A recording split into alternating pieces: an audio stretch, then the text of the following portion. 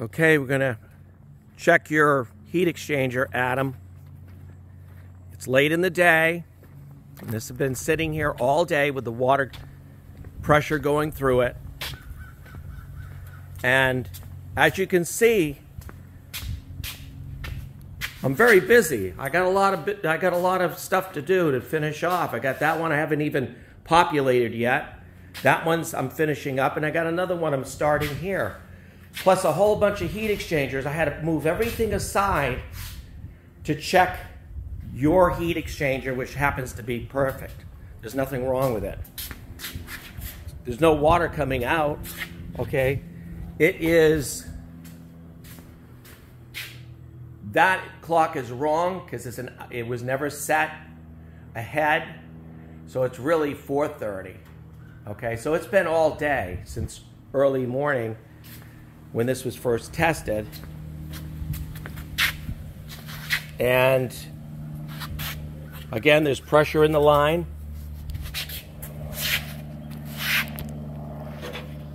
I'll show you that there's high pressure going in it.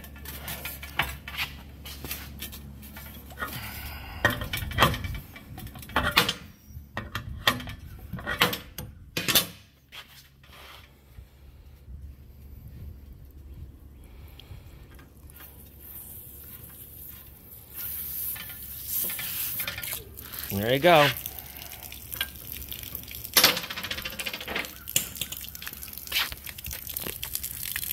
There's a lot of pressure in coming out of there, and there's no leak.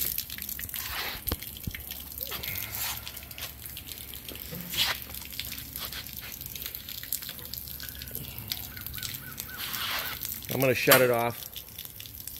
And then I'm going to tip this thing up and show you that there's no water going to come out of that area there because I don't see any right now. There's nothing coming out of it.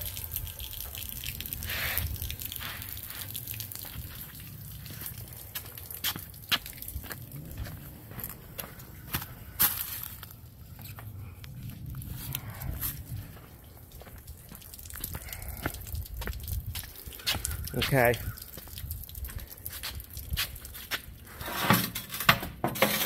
See how dry that is? Dry as a bone. I'm going to tip it up on its side. Up. So if there were any leaks in this, the water's going to show in the mouth of that fitting right there. It's going to show right in there. Okay?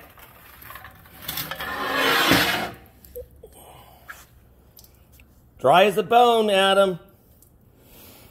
Dry as a bone. There's no nothing coming out of there. This thing is solid. There's no leaks. Okay? Nothing wrong with this heater. Your problem is, is you got something coming in. You can see there's water coming in. This, look at the rusty water coming off your engine. Okay? Dry as a bone. Okay, so I'm shipping it back to you, and um, you can pay the shipping. Just, that's it. Now I got to get back to some customers here that are depending on me to get this stuff out. I am overloaded, as you can see.